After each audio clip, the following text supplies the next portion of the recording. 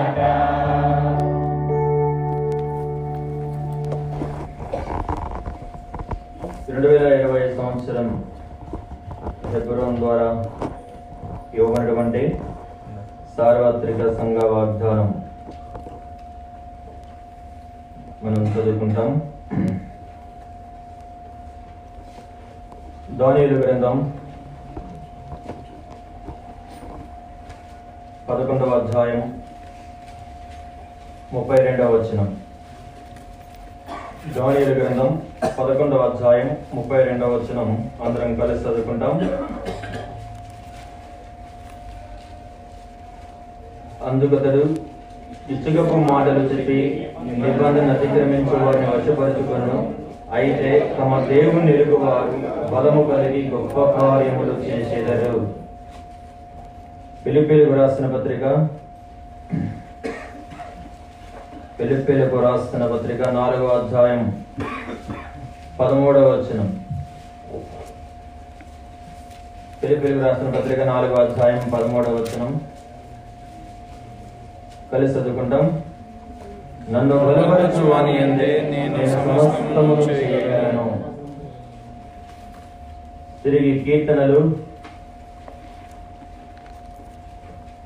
ఎనభై నాలుగు.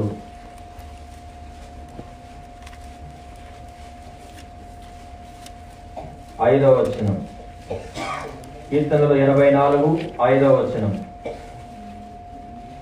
నీ వలన బలమందు మనుషులు ధనియులు యాత్ర చేయు మార్గములు వారికి అతి ప్రార్థన చేసుకుంటాం దయచేసి మోకరించగలిగిన వారు మోకరించారు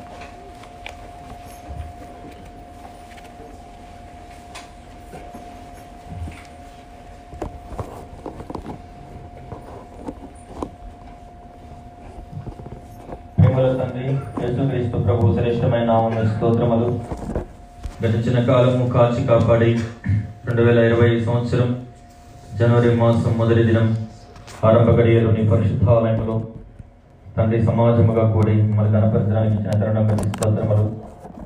మరికొన్ని నిమిషములలో తండ్రి ఈ పరిశుద్ధమైన యొక్క బల్లను మేము సమీపించబోతుండగా ఈ నూతన సంవత్సరం నూతనమైన విధానములో నీ యొక్క బలలో పాలు పొందేదాన్ని కొరకే తగిన సిద్ధపాటును మాకు అనుగ్రహించము. చదివినటువంటి లేఖనాలను మీరు మా కొరకే ఆశీర్వదించండి విడిచి వడ్డించండి. నాతో మాతో మా అందరితో మీరు మాట్లాడండి. మీ మెల్లని మధురస్వరం వినిపించండి మీరు ఏదైనా మాట్లాడితే తప్ప మేము సంతృప్తి అందలేం కనుక నీ ప్రజలు ప్రభా నీ మాటల వరకు ఎదురు చూస్తున్నారు. మీరు కనికరించండి. నిరాశ నిస్ప్రయోజకులు బలహీనడు చేత కానివాడు మీరు ఎరుగుదరు. మీరే కనికరించి ఆత్మాభిషేకంతో నింపి ప్రతి ఒక్కరికి మేలుకరమగా నీ మాటలు దయచేస్తారమని ప్రార్థన చేస్తూ మా సమయమైన దేవునికరంగా చేయము. మరి మా ఘనత ప్రభావాలు మీకే చెల్లిస్తూ యేసుక్రీస్తు ప్రభు శ్రేష్టమైన నామములోనే స్థుతించి ప్రార్థించి వేడుకుంటున్నాం తండ్రి. ఆమె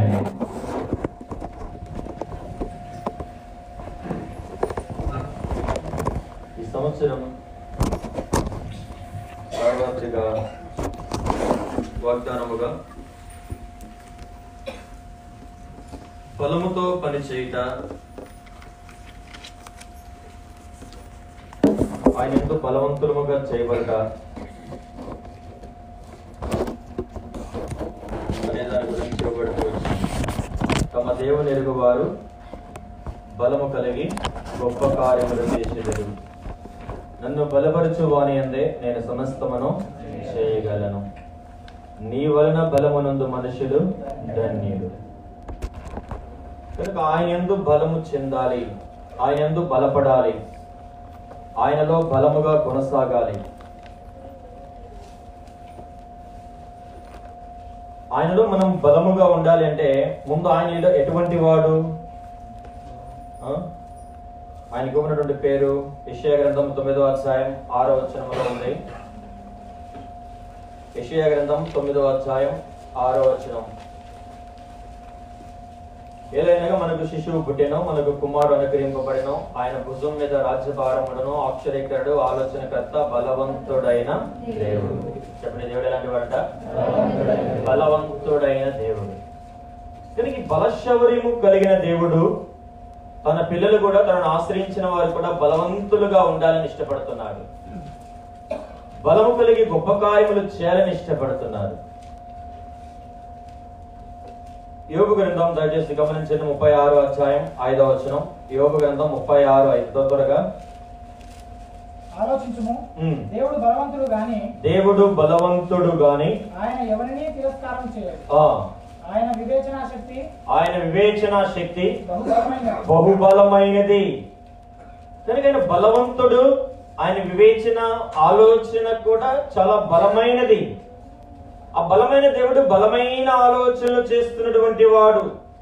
సామెతల గ్రంథం ఇరవై మూడో అధ్యాయం పదకొండవ వచ్చిన దయచేసి త్వరగా చదవండి. సామెతలు ఇరవై మూడు పదకొండు. వారి విమోచకుడు బలవంతుడు. వారి విమోచకుడు బలవంతుడు. ఆయన వారి పక్షాన ఇర్మియా గ్రంథం యాభై అధ్యాయం ముప్పై నాలుగు వచ్చిన ఇర్మియా యాభై ముప్పై నాలుగు. త్వర త్వరగా. ఇర్మియా యాభైవ అధ్యాయం ముప్పై నాలుగో వచ్చిన వారి విమోచకుడు బలవంతుడు సైన్యములకు అధిపతి యహోవా అని ఆయన పేరు. కనుక వారి విమోచకుడు బలవంతుడు సైన్యములకు అధిపతి యెహోవా అని ఆయనకు పేరు.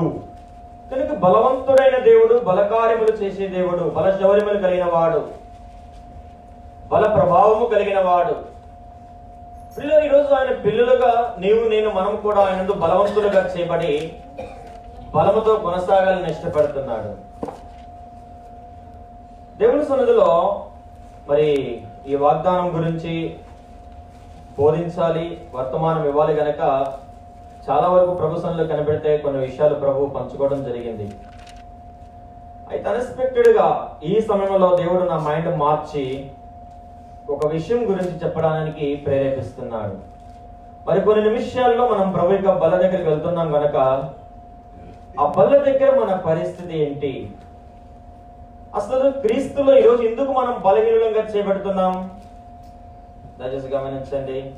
కొరిందీలకు రాసిన కొరిందీలకు రాసిన మొదటి పత్రిక పదకొండవ అధ్యాయం ఇరవై ఎనిమిది నుంచి ముప్పై ఒకటి వరకు మనం మార్చి మార్చి చదువుకుంటాం. కొరిందీలకు రాసిన మొదటి పత్రిక పదకొండవ అధ్యాయం ఇరవై ఎనిమిది నుంచి ముప్పై ఒకటి వరకు. కాబట్టి ప్రతి మనుషుడు తను తాను పరీక్షించుకొనవలెను. అలాగు చేసి ఆ రొట్టెని తిని ఆ పాత్రలో నిధి త్రాగవలెను.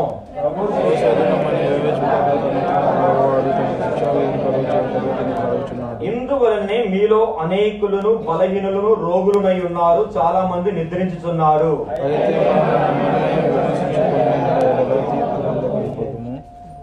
ఇప్పుడు చెప్పండి ఇప్పుడు మనం బలహీనులుగా ఎందుకు అవుతున్నాం?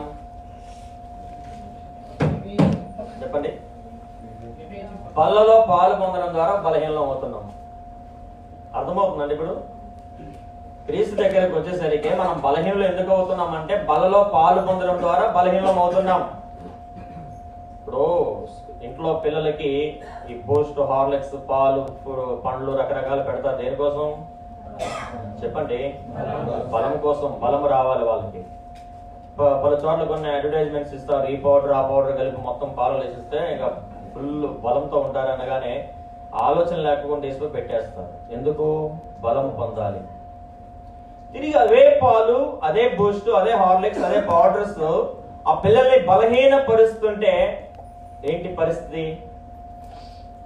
అంటే దేని ద్వారా బలము చెందాలో అదే బలహీనతకు కారణమవుతుంది. ప్రియులరా అసలు ప్రభు యొక్క బల్ల ప్రభు యొక్క శరీరం ప్రభు యొక్క రక్తం మనకు దేని కొరకు ఇవ్వబడింది? ఎస్ ప్రభు చెప్పారు యవన స్వార్తలో నా శరీరమును తిని నా రక్తం త్రాగువాడే నిత్య జీవము గలవాడు. బలలో పాలు పొందనేవాడు? చెప్పండి. దానికి మీరు చెప్పినారు కదా మళ్ళీ అన్ని ఎందుకు నిత్య జీవము లేదా వ్యక్తికి నా శరీరం తిని నా రక్తం త్రాగువాడే నిత్య జీవము గలవాడు నా శరీరం తిని నా రక్తం త్రాగని వాడు నిత్య జీవము గలవాడు కాడు. వారిలోనికి నా వారిలోనికి నా జీవము రాదు. వారిలోనికి నా బలము రాదు. వారిలోనికి నా శక్తి రాదు. తిరిగి పిల్లలు ఇక్కడ గమనించినట్లయితే అదే బల్ల అదే శరీరం అదే రక్తం అయోగ్యముగా. ఎట్లా అంటండి అయోగ్యముగా. అంటే ఇక్కడ ఒక నియమం పెడుతున్నాడు దేవుడు. ఆ బల్లను మనం తాకాలన్నా ఆ బలలో పాలు పొందాలన్నా పరీక్షించుకొనుట. చెప్పని ఏం పెడుతున్నాడు? ఎవరెవరు పరీక్షించుకోవాలి? తన్ను తాను తన అంతరంగ స్థితిని. పురిలో ఇప్పుడు పరీక్షించుకోవడానికి రాట్ల రావట్లేదు మనస్సు. తెలియకోకుండానే పాలు పొందుతాం తెలియకోకుండానే స్వీకరిస్తాం. ఏదో ఇస్తున్నారు కాబట్టి చేద్దాం తీసుకుంటాం తినేస్తాం. అది లోపల ఏం జరుగుతుంది? బలహీనతలోనికి తీసుకొని పోతుంది. అంటే అయోగ్యముగా నిర్లక్ష్యముగా పాలు పొందుట ద్వారా. యోహాను మొదటి పత్రిక దయచేసి గమనించండి. యోహాను మొదటి పత్రిక. యోహాను మొదటి పత్రిక.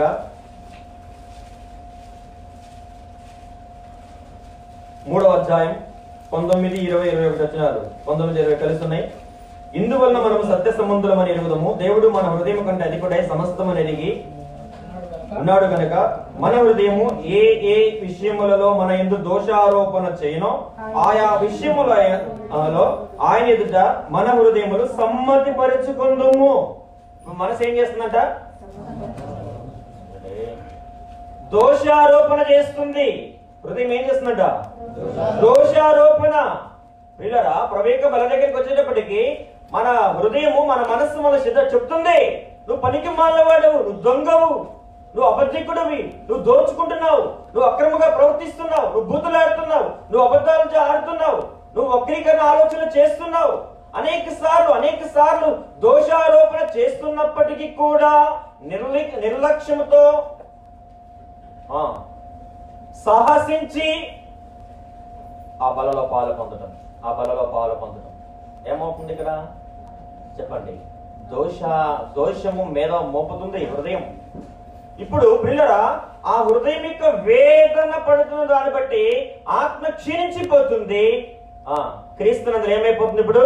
బలహీన పరచబడినటువంటి అనుభవంలోనికి వెళ్తున్నాం. ఇక్కడ కొరింది సంఘస్థులను ఉద్దేశించి పౌలపోస్తులు రాస్తూ మీలో అనేకులు బలహీనులు. ఎందుకంటే పరీక్ష లేదు సరి చేసుకునేది లేదు సిద్ధపడేది లేదు. నిర్లక్ష్యపు ధోరణితోనే బలలో అంటే ఒక ఆచారకంగా అలవాటుగా పాల్పొందుతూ సంవత్సరాలు గడుపుకుంటున్నారు. కనుక వారు బలహీనమైన పరిస్థితిలో ఉన్నారు. ఇప్పుడు వారిలో ఉన్న కొన్ని బలహీనతలు. ఈ రాత్రికాల సమయంలో మనం చూడబోతున్నాం. పిల్లరా కొన్నిసార్లు పాపము అంటే ఏదో పెద్ద అనుకుంటాం. మన జీవితంలో చాలా తెలివి తెలివికోకుండానే అర్థము కాకోకుండానే సూక్ష్మగా పాపం జరిగిపోతుంది. ఏంటివి? దయచేసి గమనించండి. కొరిందీలకు రాసిన మొదటి పత్రిక కొరిందీలకు రాసిన మొదటి పత్రిక మొదటి అధ్యాయం పదో వచ్చిన దయచేసి ఒకరు త్వరగా. మీరందరూ ఏక భావంతో మాట్లాడవాలని. మీలో కక్షలు లేక. ఏక మనసుతోనూ. ఏక తాత్పర్యంతోనూ. మీరు సన్నద్ధులై ఉండవాలని. మన ప్రభు అయిన యేసు క్రీస్తు పేర మిమ్మల్ని వేడుకొంచున్నాను మొట్టమొదటిగా ఏంటంటే వాళ్ళు? కక్షలు. వాళ్ళ బలహీనత ఏంటి కక్ష కక్ష. ఎవరిది కక్ష? ఇది సాతానుది కక్ష. వాడు క్రూరుడు దుర్మార్గుడు దొంగ నరహంతకుడు. కనుక ఈ స్వభావం దేవుని ప్రజల్లోనికి వదులుతున్నాడు. దేవుని ప్రజలను కక్షపూరితమైన ప్రజలుగా చేస్తున్నాడు. ఈ కక్ష అంటే దేవుడు మనకు నేర్పించింది. యేసుక్రీస్తు ప్రభువారు శిలువ ద్వారా నీకు నాకు మనకు నేర్పించినది ఏంటి నిన్న వలే ప్రేమాన్ని ప్రేమించు. నేను నిన్ను ప్రేమిస్తున్నాను. నీ కోసం త్యాగం చేస్తున్నా నీ కోసం క్రయం చెల్లిస్తున్నా. నేను నీకు ఏ ప్రేమను చూపిస్తున్నానో. నువ్వు అదే ప్రేమను చూపించాలి. నువ్వు అదే త్యాగం చేయాలి అదే క్రయం చెల్లించాలి. ప్రియరా ప్రియమైన సోదరి సోట ఈనాడు సంఘము ఆడ పది మంది ఉన్న అదే పరిస్థితి. వెయ్యి మంది ఉన్న అదే పరిస్థితి ఐదు వేల మంది ఉన్నా కూడా అదే పరిస్థితి. ఏంటి? పొసకని పరిస్థితులు. ఒకరితో ఒకరు మనసు లేని వారుగా సంబంధం లేని వారుగా ఏమండి? మనం ఆరాధించేదేమో ప్రేమమూర్తిని మనం చేరొచ్చేదేమో ప్రేమమయుడి యొక్క మందిరంలోనికి మనం ఆరాధించేది బలలో పాలు పొందేదేమో ప్రేమమయుడి దగ్గర. కానీ మన విధానాలు ఎక్కడున్నాయి? చెప్పండి. సికింద్రాబాద్ బొల్లారంలో కంటోన్మెంట్ బొల్లారం అంటారు.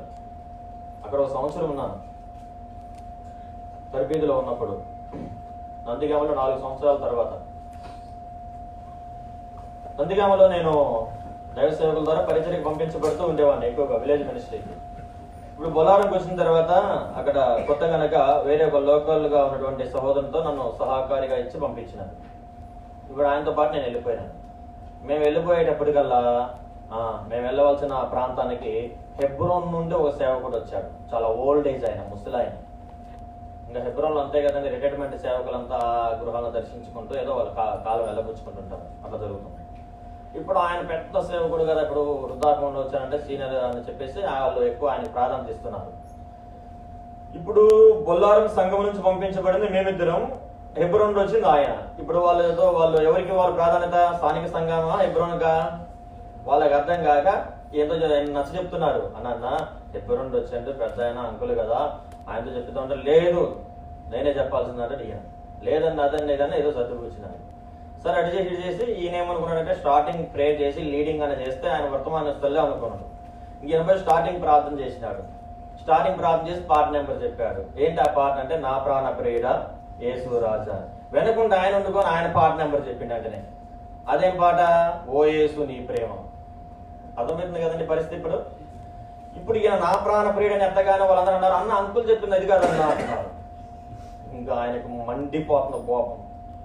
వెంటనే ఏం చేయాలి అర్థం కాక ఆ పాట నెంబర్ తీసి ఓ యేసు నీ ప్రేమ అంటున్నాడు. అర్థమవుతుందండి నేను చెప్పేది? పాడే పాట ఏంటి? ప్రేమ గురించి పాడుతున్నాడు పాడేదట పాడుతున్నాడు? వీలు దొరికితే ఒంటరిగా కానీ దొరికితే ఆయన గొంతు పీసుకాలని పాడుతున్నాడు. అర్థమవుతుందండి? పిల్లలు ఈ రోజు మనకి ఆరాధన ఎలా ఉంటుంది? పక్క పక్కనే కూర్చుంటాం దగ్గర దగ్గరగా కూర్చుంటాం కానీ మనసులు కలవట్లా మనసులు సమకూడట్లా ఏకత్వం లేదు ఏక మనసు లేదు. ఏం ఏం ఏం ఏం మనస్సాక్షి అని చెప్పుకోవాలి మనస్సాక్షి గద్దించడం లేదా? మనస్సాక్షి నిందించడం లేదా? మనస్సాక్షి ప్రేరేపించడం లేదా? ఎన్నెన్ని సార్లు ప్రభు యొక్క బల దగ్గరకు వచ్చేటప్పటికి మనస్సాక్షిని చంపుతున్నావు? ప్రియమైన సోదరి సోడ కక్ష కక్షలు కక్షలు. ఈ కక్షలు పనికిరావు ఈ దేవుని పిల్లలకు తగవు. దేవుని వాక్యం చెప్తుంది? ప్రభు యేసుక్రీస్తు వారు ఏమి నేర్పిస్తున్నారు? మతైసు వార్త దయచేసి గమనించండి. మత వార్త మత్తైసు వార్త మత్తైసు వార్త ఐదవ అధ్యాయం నలభై మూడు నలభై నాలుగు వచ్చిన త్వర త్వరగా. నీ పొరుగు వారిని ప్రేమించి నీ శత్రువుని ద్వేషించమని చెప్పబడిన మాట. మీరు విన్నారు కదా? మీరు పరలోకమందున్న మీ తండ్రికి కుమారులై దయచేసి గమనించండి మీరు నిజమైన క్రైస్తవులుగా ఉన్నట్లు నిజమైన క్రైస్తవునిక పిల్లలుగా ఉన్నట్లు ఆ. మీ శత్రువులను ప్రేమించుడి. మీ శత్రువులను ప్రేమించుడి. మిమ్మల్ని హింసించి వారి కొరకు ప్రార్థన చేయుడి. ఎవరి కొరకు అంటండి ఎవరి కొరకు అంటే గట్టిగా చెప్పండి. ఎవరి ద్వారా ఈ రోజు నీకు హింస కలుగుతుంది? తోటి విశ్వాసం ద్వారా హింస కలుగుతుందా? నీ ఉద్యోగుల తోటి ఆ, నీ ఉద్యోగస్తుల ద్వారా సమ హింస కలుగుతుందా? పై అధికారుల ద్వారా హింస కలుగుతుందా? ఇరుగు పొరుగు వారి ద్వారా హింస కలుగుతుందా? ఆ హింసను సహించుకోవాలి. ఆ హింసను ఓర్చుకోవాలి. ప్రభు యేసుక్రీస్తు వారు నీకు మాదిరిగా హింసను ఓర్చుకున్నాడు. బొచ్చు కత్తిరించు అనేది గొర్రె పిల్ల ఎలాగ మౌనముగా ఉండడం అలా మౌనం వహించాడు. ఆ పిల్ల తడుతున్నాడు మనిషిని మనిషి నువ్వు నోరు తెరువు నీకు శిక్ష విధించడానికి శిక్ష నుండి తప్పించడానికి అధికారం కలదు. నోరు తెరువు. నోరు తెరవలా? ఆయన నోరు తెరిస్తే ఈరోజు ఇక్కడ మనం కూర్చునే వాళ్ళం కాదు. ఇక్కడ కూర్చునే ప్రాప్తం మనకి లేదు. హింసను ఓర్చుకున్నాడు. హింసకు తలవెగ్గాడు. ఈరోజు దేవుని పిల్లమని చెప్పుకునే మనం ఏ చిన్నది ఏ చిన్న పరిస్థితి? ఒక మాట సహించం ఒక నిందన సహించం ఒక ప్రతికూలతను సహించం. ప్రియులారా, ఇది దేవుని పిల్లల లక్షణం కాదు. ఎవరి మీద కూడా కక్షపూరితమైన మనసు పెట్టుకొనవద్దు. మీరు అక్కడ మాట ఏంటి పరలోకమందున్న మీ తండ్రికి కుమారులై ఉన్నట్లు మీ శత్రువులను ప్రేమించుడి. మిమ్మల్ని హింసించు వారి కొరకు. మిమ్మల్ని హింసించు వారి కొరకు. ఏమని ప్రార్థన చేస్తావు హింసించు వారి కొరకు. ప్రభు వాడు జనం చేయ వాడి తల మీద నిప్పులు పోయాయా వాడు కొంప కొల్లేరు చేయ ఇవా ఏం చేయాలి?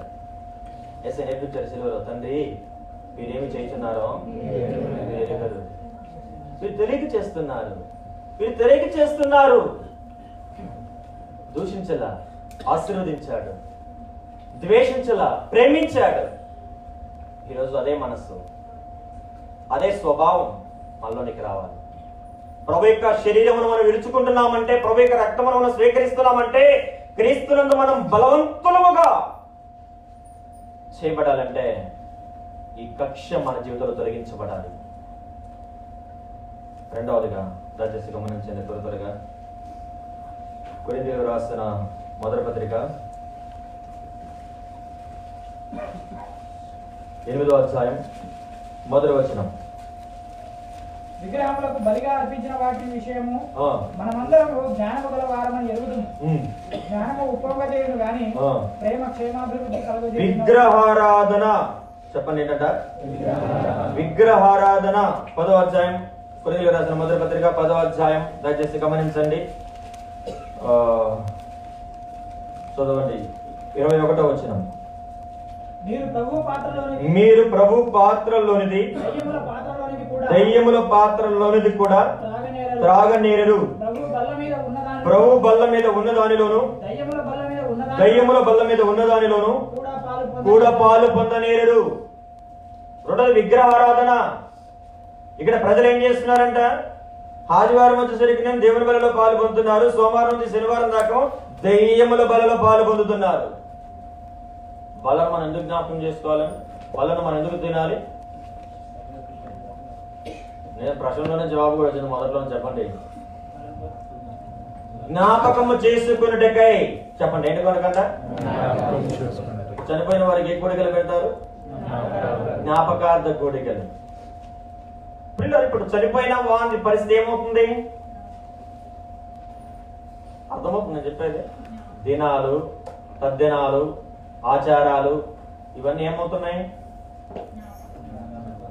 జ్ఞాపకార్థంగా. అంటే ఇప్పుడు మూడో రోజు ఇది ఐదో రోజు ఇది తొమ్మిదో రోజు ఇది పదకొండో రోజు ఇది ఆయన గుర్తు చేసుకుంటూ చేస్తున్నారు. టోటల్గా పదకొండు లేదా పదమూడు పదహైదులో ఆ పూర్తిగా పేరు మాసిపోతుంది అని చెప్పబడుతుంది. అంటే అర్థమైంది అక్కడ దెయ్యం చనిపోయిన వాని దెయ్యంతో సమానం. అక్కడ అర్థమవుతుందని చనిపోయిన వాడు దెయ్యమవుతాడని కాదు అక్కడ. అక్కడ అర్థం ఏంటంటే ఆచారమును పాటించడమే ఒక దెయ్యపు స్వభావం. దెయ్యముల బల్ల అర్థం ఏంటి అక్కడ? అన్యజనుల విందులు అన్యజనుల అన్యజనుల కార్యకలాపములు. అవునా? ఈరోజు ఎన్ని సిద్ధాంతాలు మనం పాటిస్తున్నాం? ఎన్ని సాంప్రదాయాలు పాటిస్తున్నాం మనం? ఎన్నెన్ని ఆచారాలు పాటిస్తున్నాం మనం? దేవుడు మనకి వీటిని ఇచ్చాడా? పాటించమని చెప్పాడా? ఒక విధంగా చెప్పాలంటే ఈ సిద్ధాంతాలు ఈ ఆచారాలు అన్ని కూడా ధర్మశాస్త్ర సంబంధమైనవి. మీరు ఇల్లు ఇట్లా కట్టుకోవాలి కిటికీ ఎట్లా పెట్టుకోవాలి ద్వారబంధనం ఎక్కడ పెట్టుకోవాలి మీరు ఇట్లా ఉండాలా ఇట్లా చేయాలా ధర్మశాస్త్రం. నువ్వు ఇప్పుడు ఏ ఎక్కడున్నావు? సీనాయి అనుభవంలో ఉన్నావా? సియోన్ అనుభవంలో ఉన్నావా? అంటే సియోనులో ఉన్నావు అనుకుంటూ సీనాయి అనుభవాలు కలుగుతున్నావు సీనాయికి ఆచారాలు చేస్తున్నావు సీనాయికి పద్ధతులు పాటిస్తున్నావు. సీనాయిక ప్రభావం ఏంటంటే దేవుని యొక్క ఉగ్రత. కనుక దేవుని బలలోను దయ్యముల బలలో కూడా పాలు పొందనేరు. నువ్వు ఇక ప్రభు బలలో పాలు పొందితే దయ్యముల బలలో అంటే లోక సంబంధమైనటువంటి ఏ విందులు వినోదాల్లో కూడా పాలు పొందకూడదు. ఈరోజు ఎక్కడెక్కడ కూర్చుంటున్నావు ఎక్కడ నిల్చుంటున్నావు ఎక్కడ ఏం తింటున్నావు ఎక్కడ ఏం త్రాగుతున్నావు ఒక యోచన ఉందా? నేను అన్ని జనాంగం నుంచి రక్షించబడినాను నేను రక్షించబడినటువంటి కొత్తలో మా తాతయ్య చనిపోయినాడు. అంటే అమ్మ వాళ్ళ నాయన. ఇప్పుడు అమ్మమ్మ కొరకు అని చెప్పేసి ఆయన దినం చేస్తున్నారు ఇక్కడ అంటే మేము కూడా బాధ్యత వహిస్తున్నాం అప్పుడు.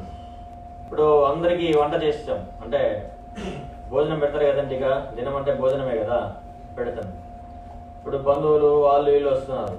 ఏం మీరు చేయరా అంటే? మేము చేయం మేము యేసు ప్రభు నమ్ముకున్నాం.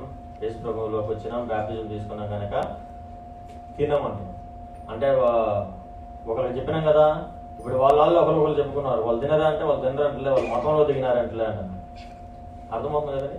ఇప్పుడు ఇదంతా అయిపోయిన తర్వాత అయిపోయిన తర్వాత అయిపోయిన తర్వాత నా మిత్రుడు ఒకనే తెలిసింది ఆ రోజు నేను భోజనం చేయలేదన్న సంగతి. ఆ మిత్రుడు వచ్చి నాకేం చెప్తుందంటే రే నువ్వు ఏ సంఘములోకి వెళ్తున్నావో ఆ సంఘములో ఉన్న సంఘ పెద్ద కంటే నువ్వు యోగ్యుడివా గొప్పవాడివా అన్నాడు. అదేంటన్నాను ఆయన వచ్చి మన వాళ్ళ మేనమ్మ చనిపోతే దినంలో భోజనం చేసి పోయినాడు అక్కడ. ఎవరైనా? సంఘ పెద్ద. నువ్వు నిన్న కాక మనం బ్యాప్టిజం చూసి ఎంత స్ట్రిక్ట్ మెయింటైన్ చేస్తున్నావు అంటున్నాడు. ఏం చెప్పాలి చెప్పండి ఇప్పుడు. అర్థమవుతుందని చెప్పేది? అందుకే దేవుని రాయబడింది మిమ్మును బట్టి నా నామము అన్యజనుల మధ్య దూషించబడుతుంది. అన్ని ఎరిగినామంటూ అన్ని గ్రహించినామంటూ. ఆ ఆ సిద్ధాంతంలోనికి ఆ సిద్ధాంతంలోనికి వెళ్తుంటాం. ఆలగడలో ఒక పరిచారకుడు ఉన్నాడు. ఆయన చిత్రేనపల్లిలో అంటే నేనున్న ప్లేస్లో పని పని జరుగుతుంటే సహకారంగా ఒకరోజు వచ్చాడు. పాపం ఆయన ప్రతి వారం పరిచయలకు వెళ్తూనే ఉంటాడు అన్నమాట అటో ఇటో మొత్తానికి. ఆయన నాతో మాట్లాడుతూ మాట్లాడుతూ అన్న మన పండగ వచ్చేసరికి మాంసం తెచ్చుకోవడానికి డబ్బులు లేవన్నా అర్థమైంది? అంటే నేను చెప్పేది పండగ వచ్చేసరికి మాంసం తెచ్చుకోవడానికి డబ్బులు లేవంట. ఈలో ఈలోపు ప్రార్థన చేసుకుంటే ఎవరు? ఊర్లో ఒక ఆయన వచ్చి దా మాంసం తెచ్చుకుంది కదా మాంసం కట్ చేసినాం అక్కడ తెచ్చుకుందాం రా తెచ్చుకుంది కానీ రా అన్నాడంట. అంటే ఆయన అన్నాడంట నా దగ్గర డబ్బులు లేవంటే డబ్బులు లేవద్దు ఏమొద్దు వచ్చి తెచ్చుకోపో అంట అంటే ఆయన ఎవరు పంపించారంటే ఇప్పుడు? ఎస్ఐ పంపించినాడు. పండగ రోజు మాంసం కూర వండుకొని తిందా బాబు మందిరానికి రావద్దు వాక్యం వినొద్దు ప్రత్యేక కోడికి అసలు వద్దు నీకు ఆ ప్రత్యేక వర్తమానికులొద్దు ఆ అడేం ప్రత్యేక కోడికి పెట్టి సేవకులేం ప్రత్యేక వర్తమానాలు వదులుతుంటారు నువ్వు కూర్చొని మాంసం వదులుతుంది కానీ ఏసై పంపించినాడంట. అని చెప్పడం చూడు ఇది ఒక సాక్ష్యం మళ్ళీ దీనికి ఘనంగా చెప్పుకున్నాడు ఆయన ఎవరు మళ్ళీ? పరిచారకుడు బోధకుడు బయటికి వెళ్ళి బోధించే వాళ్ళు పిల్లరా ఎలాంటి పరిస్థితి నాడు ఏర్పడుతుందంటే బోధకులుగా ఉండవలసిన వారు మాదిరి లేని పరిస్థితులు వచ్చేసినాయి. వైద్యులకు పోయిన పరిస్థితులు వచ్చేసినాయి ఇక్కడ. కనుక విగ్రహారాధన వాక్యం చెప్తుంది. కొన్ని రాసిన మొదటి పత్రిక పదవ అధ్యాయం ముప్పై ఒకటో వచ్చిన త్వర త్వరగా. కాబట్టి మీరు భోజనము చేసినను. పానము చేసినను. మీరేమి చేసినను? కనుక నువ్వు తీసుకున్నటువంటి ప్రతి ఆహారం ఏ స్థలంలో నిల్చున్నా ఎక్కడ నిల్చున్నా ఎక్కడ కూర్చొని తిన్నా నువ్వు తీసుకునే ఆహారం నువ్వు తీసుకునే పానీయం కనీసం ఒక గ్లాస్ వాటర్ నీళ్ళు తాగినా సరే ఏం రావాలి అక్కడ? దేవునికి మహిమ. చదవన మాట ఏముంది అక్కడ? సమస్తమును దేవుని మహిమ కొరకు. సమస్తమును దేవుని మహిమ కొరకు చేయుడి. నువ్వు తినే ఆహారం ద్వారా దేవునికి మహిమ రావాలి. దేవునికి అవమానం కలిగించే ప- పరిసరాలను వండకూడదు తినకూడదు నువ్వు నిల్చోకూడదు కూర్చోకూడదు. మూడవది కదా దయచేసి చూడండి మన టైం అయిపోతుంది. కొరిందీలు రాసిన మొదటి పత్రిక కొరిందీలకు రాసిన మొదటి పత్రిక ఐదవ అధ్యాయం. మొదటి వచనం. మీలో జాగ్రత్త ఉన్నదని వదంతి కలదు. మీలో ఒకడు తన తండ్రి భార్యను ఉంచుకున్నాడట జాగ్రత్త కామాతురత ఇక్కడ అపవిత్రమైనటువంటి జీవితం. ప్రియులరా ఇది చాలా భయంకరమైనటువంటి పరిస్థితి. యేసుప్రభు వారు చెప్పారు మీరు ఒక స్త్రీని మోహపు చూపుతో చూస్తే ఏమవుతుంది అక్కడ వ్యభిచారి క్రియాపూర్వకం కాదు కనీసం చూచుడు ద్వారా కూడా. చూచుడులోని ఆలోచనలు చెడిపోయినా సరే అది పాపం. ఇలాంటి పరిస్థితులు ఏమవుతున్నాయి? శరీరాన్ని నియంత్రించుకోలేని పరిస్థితులు మనసును నియంత్రించుకోలేని పరిస్థితులు శరీరాన్ని అదుపు చేసుకోలేని పరిస్థితులు. జాగ్రత్త. ఎవరు చూడటం లేదనుకుంటున్నావు? ఎవరికి తెలియదు అనుకుంటున్నావు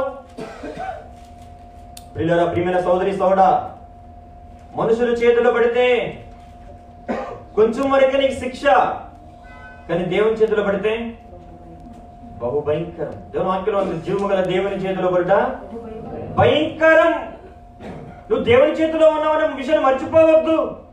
కనుక నీ నడవడి నీ పరివర్తన నీ చూపులు నీ వస్త్రధరణ. ఎలాంటి వస్త్రాలు? ఎవరిని ఆకర్షించడానికి ఎవరి ద్వారా ఆకర్షించబడడానికి వస్త్రాలు? శరీరాన్ని కప్పుకోవడానికి దేవుడు వస్త్రం ఇచ్చాడు. శరీరాన్ని కనపరుచుకోవడానికి కాదు. ఈ నూతన సంవత్సరంలో ఒక తీర్మానం చేసుకుందాం. మీలో జాగ్రత్త ఉన్నదని వదంతి కలదు. జాగ్రత్త. మీ దేహము దేవుని ఆత్మకు పరిశుద్ధాత్మకు ఆలయం. కొరిదిలో రాసిన మొదటి పత్రిక. కొరిదిలో రాసిన మొదటి పత్రిక. మూడో అధ్యాయం పదహారు పదిహేడు వచ్చినములు మీరు మీరు దేవుని ఆలయమై ఉన్నారు. మీరు దేవుని ఆలయమై ఉన్నారని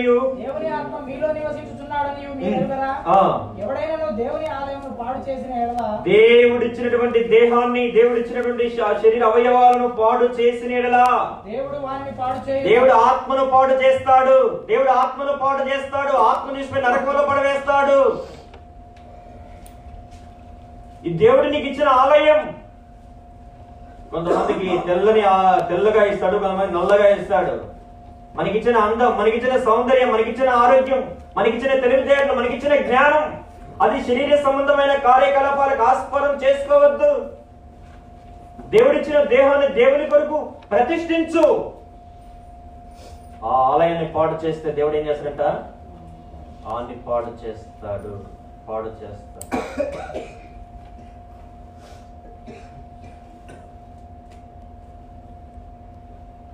నాలుగవదిగా మనం చూస్తాం. కొరిదిలో రాసిన పత్రిక మూడవ అధ్యాయం. కొరిదిలో రాసిన పత్రిక మూడవ అధ్యాయం. మొదటి వచ్చిన. సహోదరులారా. ఆత్మ సంబంధులైన మనుషులతో మాట్లాడినట్టు. నేను మీతో మాట్లాడలేకపోతే. శరీర సంబంధులైన మనుషులే అనియు. శరీర సంబంధులైన మనుషులేనియు క్రీస్తునందు పసిబిడ్డలే అనియు. క్రీస్తునందు పసిబిడ్డలే అనియు. మీతో వచ్చాను క్రీస్తునందు వాళ్ళు పసిపిల్లలుగా ఉంటున్నారు. సంవత్సరాలు సంవత్సరాలు గతించుతున్నా కూడా వారికి ఆధ్యాత్మికమైన జీవితంలో ఎదుగుదల లేదు. ఆత్మీయ అభివృద్ధి లేదు. వారి వయసు పెరుగుతుంది కానీ శరీరం శరీరంలో ఆ ఏమి లేవంటే మార్పులు లేవు. మరుగుజ్జులుగా ఉన్నారన్నమాట వాళ్ళు. క్లియరా ఇక్కడ రాయబడిన మాట ఏంటంటే పసిబిడ్డ రెండవ వచనంలో మీకు బలము చాలకపోయినందున పాలతోనే మిమ్మల్ని పెంచుతుంది కానీ అన్నముతో మిమ్మల్ని పెంచలేదు. పాలతోనే పెంచుతుంది అన్నముతో పెంచలేదు. అన్నము అనేది ఏం చూపిస్తుంది? దేవుని యొక్క వాక్యం గూఢమైన సంగతులు అనేక రకాల బాధ్యతలు. దేవుని సన్నిధిలో అనేక భారములు భరించు వారై ఉండవలసి ఉండగా పసిపిల్లలుగా ఏమి మొయ్యలేని వారు. ఈనాడు దేవుని మందిరంలో ప్రజలు ఎలా ఉంటున్నారు? చెప్పండి. టైంకి చక్కగా చాపలేసి మైక్ పెట్టి అన్ని అరేంజ్మెంట్ చేసి రెడీగా పెడితే ఏదో కొంచెం కొద్దిసేపు కూర్చొని ఆ మాటలని ఏదైనా పెడితే తినేసిపోతుంది అంతే కదండి? ఇక్కడ చేపలు వేసేది ఏంటి? మైక్ సిస్టమ్ చేసేది ఏంటి? అరేంజ్మెంట్ చేసేది ఏంటి? దీని కొరకు ఎంత ప్రయాసం ఉంది? ఎంత త్యాగం ఉంది? అర్థమవుతుందా? అత్తోరింటికి వచ్చిన అల్లుల్లాగా కూర్చోండి. ఎట్లా కూర్చుంటారు అత్తారు అత్తగారింటికి పోతే? చెప్పండి. వినయము బాధ డామినేషన్ ఎక్కువ అది. కానీ డామినేషన్ అంటే మన యొక్క మైండ్ మన ఆలోచన ఎలా ఉంటుంది? వీళ్ళరా రావటమే గ్రేట్ అన్నట్లుగా ఉంటుంది. అది కాదు. అది కాదు పరిస్థితి. దేవుని మందిరంలో నువ్వు ఒక బలమైన వ్యక్తిగా చేయబడాలి. జీవితకాలం ఇప్పుడు సపోజ్ అన్న వాళ్ళు ఉన్నారు ఆయా సమయంలో విజిటింగ్స్ వెళ్ళినప్పుడు ఇంట్లో పిల్లలు ఉంటారు యవనస్తులు ఉంటారు. నాన్న రా తమ్ముడు రా బ్రదర్ అని చెప్పి బ్రతిమలాడుతుంటారు. ఒకసారి రెండు సార్లు మూడు సార్లు రెండు వేల పంతొమ్మిది రెండు వేల ఇరవై రెండు వేల ఇరవై ఒకటి రెండు వేల ఇరవై రెండు జీవితకాలం బతిమలాడుతుంటే దాన్ని ఏమంటారు? అవసరంలా? కొత్త వారికి తెలియపరచాలి కొత్త వారిని బుజ్జగించాలి కొత్త వారిని బ్రతిమలాడాలి. జీవితకాలం బ్రతిమలాడించుకుంటే అది నిజమైన విశ్వాస లక్షణం కాదు. పాలు తాగే పసిపిల్లల స్వభావం. ఈ రాత్రికాల సమయంలో మన పరిస్థితి ఎలా ఉంది? కక్షలతో ఉన్నామా? రెండోది విగ్రహారాధనతో ఉన్నామా? మూడోది వ్యభిచార సంబంధమైన మనసుతో ఉన్నామా? నాలుగోది చిన్న పిల్లల స్వభావంతో ఉన్నామా? ఏ పరిస్థితిలో ఉన్నాం? కొరిందీలకు కొరిందీలు ఉన్నటువంటి విశ్వాసులకు పట్టింపు లేదు పరీక్ష లేదు సిద్ధపాటు లేదు. యథావిధిగా యథావిధిగా పాలు పంతూ పోయినారు. ఏమైపోయిందంట? బల రోగు బలహీనులను రోగులను చాలా మంది నిద్రించుచున్నారు. ఈ రోజు ఏ కేడలో ఉన్నావు? బలహీనమైన పరిస్థితిలో ఉన్నావా? రోగముతో ఉన్నావా? పూర్తిగా చనిపోయిన పరిస్థితిలో ఉన్నావా? దేవుని వాక్యం అంటే నువ్వు జీవించున్నావు. పేరు మాత్రం ఉంది కానీ మృతుడవే. మృతుడవే మృతు సంబంధమైన జీవితం దేవునికి ఎడబాటైన జీవితం దేవునికి దూరమైన జీవితం. ఒకవేళ యాత్రికాల రాత్రికాల సమయంలో అదే బలహీనమైన పరిస్థితిలో ఉంటే బలపరచడానికి ప్రభు నిన్ను రెడీగా ఉన్నాడు. తన బలముతో నిన్ను నింపడానికి రెడీగా ఉన్నాడు. నన్ను బలపరచువా నేను సమస్తమును చేయగలను. వారి విమోచకుడు బలవంతుడు. ఆయన వివేచన శక్తి బహు బలమైనది ఈ రాత్రికాల సమయంలో బలం నీ జీవితంలో ప్రవేశపెట్టాలని ఇష్టపడుతున్నాడు. ఈ నాలుగంతల విధానములను సరి చేసుకుని ప్రభుకు అప్పగించుకుంటే నేను ఒక బలమైన పాత్రగా ఆయన సిద్ధపరచడం రెడీగా ఉన్నాడు. ప్రతి మనుష్యుడు తన్ను తాను పరీక్షించుకోనవలను. ఈ నూతన సంవత్సరం ఆరంభ గడియల్లో మన పరీక్ష సరైనదిగా ఉండాలి యథార్థమైనదిగా ఉండాలి. ప్రభుకు అప్పగించుకుందాం ప్రతిష్ఠించుకుందాం. యోగ్యంగా వాళ్ళలో పాల్గొందాం ప్రభు సహాయం చేయాలి